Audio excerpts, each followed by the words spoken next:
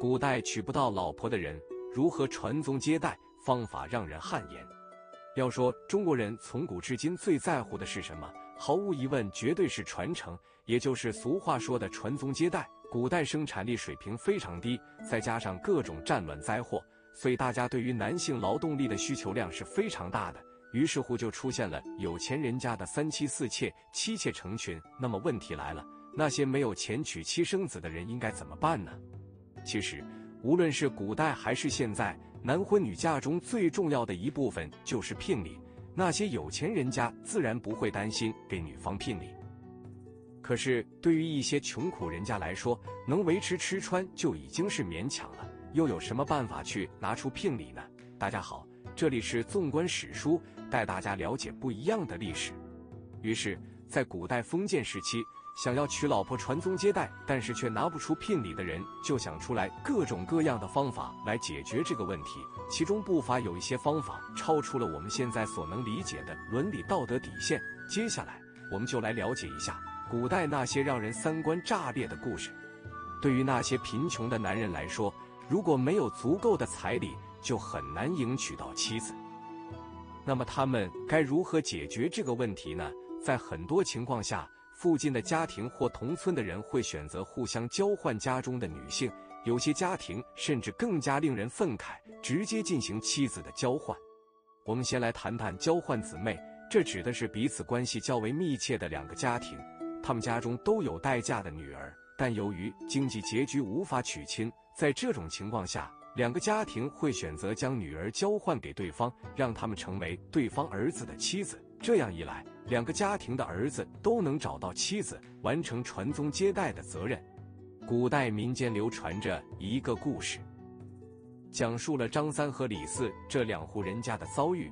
张三已经年过四十，仍然是个孤独的光棍，而李四则相对年轻一些，接近三十岁。这两个家庭都有年轻的妹妹，正值风华正茂的年纪，却要被父母嫁到对方家中。张三的妹妹相对条件较好，而嫁给李四的妹妹则遭遇了真正的不幸，因为她要嫁给的丈夫年纪已经可以当她的父亲了。李四的妹妹感到非常愤怒，她毫不犹豫地提出了抗议，但却遭到了父母的严厉责打。他们用鞭子狠狠地抽打着女儿，同时告诉她：“你嫁过去，你哥哥就有媳妇了，你能为哥哥成家做出贡献，这也算你有一点用处。”不要不知好歹。李四的妹妹的抗议并没有取得任何效果，她还是被强行嫁给了那个年纪已高的丈夫。李四的妹妹作为一个年轻的女性，本应该有权选择自己的未来和伴侣，然而她却被迫接受了一个不公平的婚姻安排，使她的人生充满了痛苦和失望。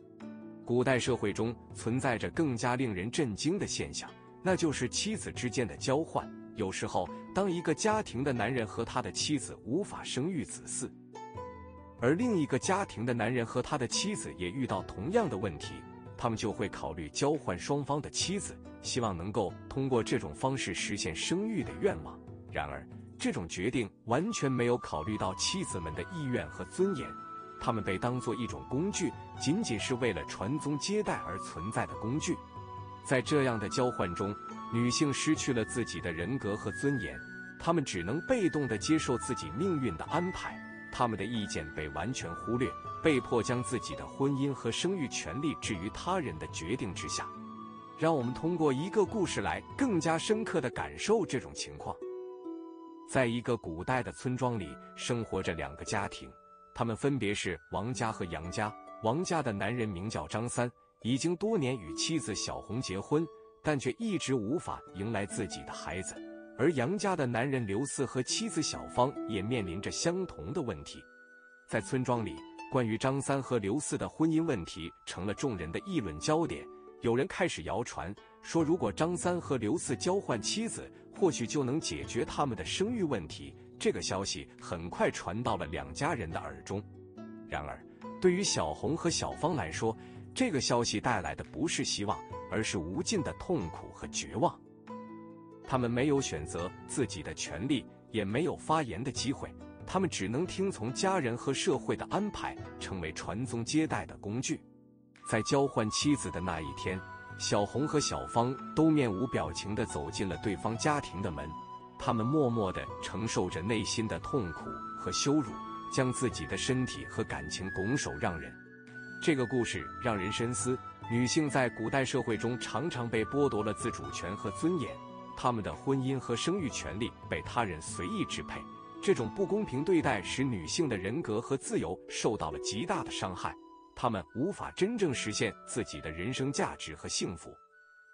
在古代社会中，存在着一种极为残酷的典妻制度，这种制度让人们震惊不已。典妻字面意思即典当妻子，就是将妻子出租给他人换取金钱，作为传宗接代的工具。《汉书》上有过简短的记载：如果家中男子无法耕作，女子无法纺织，为了维系生活，男子便只好嫁妻卖子。这种行为即使是大汉律法也无法禁止。虽然从道德方面来看，这种行为有些不近人情且十分的不公平，但也恰恰说明了古代女子的社会地位是非常低的，低到甚至可以用来做交易。尽管这种行为在今时今日的人看来有些欠妥，但谁叫古代的人口数量决定了生产力的高低呢？为了促进人口发展，古人不得不采用这种婚配方式。古人更是将这种交易称作典妻，顾名思义，丈夫可以将自己的妻子当做一件物品来典当，而被典当的女子也会受到很多限制，比如她们不可以回到原来的家中看望父母，不可以和原来的丈夫有接触，也不可以看望和前夫所生的孩子。典妻看似是一种不正规的交易，但当时的官府却有专人将这种行为正规化，专人会严格规定交易的流程。比如必须有媒人、有聘书，随后才能正式迎娶。这样看起来被典当的女子，有些像改嫁了一次。这个过程可以让前夫家得到一些钱财，新买到妻子的丈夫所花费的钱财也不会很多。唯一受委屈的只有改嫁的女子。被典当的女子要告别原有的生活与家人，忍受骨肉分离之苦。随着时间的流逝，典妻这一习俗一直在延续到了明清两代。典妻这一习俗发展到了顶峰，这时典妻不必再偷偷摸摸，他们可以和正常结婚一样举行婚礼、置办酒席。除了点妻以外，在古代还有换嫁这一习俗。所谓的换嫁，便是指女方家不收聘礼，将自家女儿嫁给穷人家的男子，随后娶了妻子的穷人家，再将自家女儿嫁给女方家的男子，双方花费极少，等于是交换女儿来完成婚配。古代除了点妻与换嫁两种方式可以帮助穷人家完成婚姻大事以外，还有两种方式也可以帮助穷家子娶妻。一种便是民间所谓的童养媳。古代贫寒家庭会提前收养流浪女，或是花费一定量的金钱跑到外地抱养一个女童回来。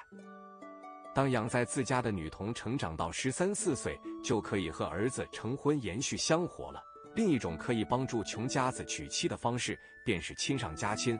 男子迎娶自己的表姐或是表妹。古代讲究门当户对，大户人家的子弟娶自家表妹为妻，是为了门当户对、亲上加亲。比如汉武帝迎娶表姐陈阿娇，李白娶了自己的表妹等等。而穷人家也是如此，穷人家的儿子迎娶自家表姐或是表妹，自然也是不用花费大量的彩礼钱。两家人都能省钱，孩子们又都彼此了解，知根知底，自然是双方父母喜闻乐见的。宋朝之前，亲上加亲、姑表成婚的习俗还未曾被明令禁止，但到了宋朝，宋朝律法却开始明令禁止这一行为。宋法规定，凡是姑表成婚者，男女双方会被判个杖责一百，夫妻离婚。到了明清两代，律法中也有类似的规定。